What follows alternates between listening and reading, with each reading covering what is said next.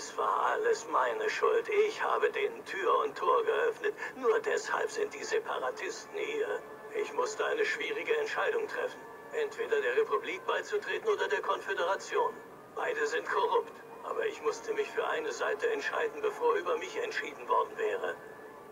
Ich habe mich für keine entschieden. Jetzt ist die Zeit gekommen, sich Onderon zurückzuholen. Unsere Bewegung wird stärker und sie hat die Rückendeckung der Jedi. Jedi.